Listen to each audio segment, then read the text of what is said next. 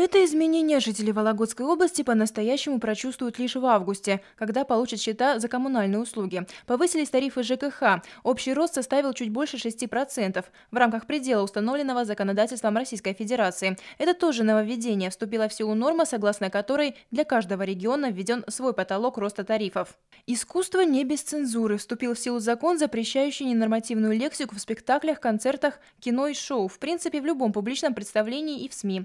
Печатную и аудиовизуальную продукцию, содержащую нецензурные слова и выражения, можно продавать только в специальной упаковке с предупреждающей наклейкой. Под ограничение не попадает продукция, выпущенная до 1 июля. За неисполнение закона предусмотрены штрафы.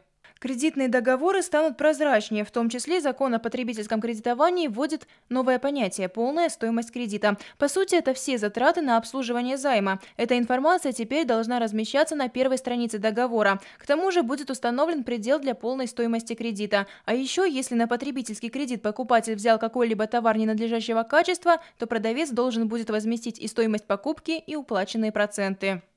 С сегодняшнего дня запрещены практически все виды лотерей – региональные, муниципальные, негосударственные и стимулирующие. Остаются лишь государственные, и они будут проводиться по решению правительства. Также сохраняются международные лотереи. Дарьян Финогенова, Новости Вологды.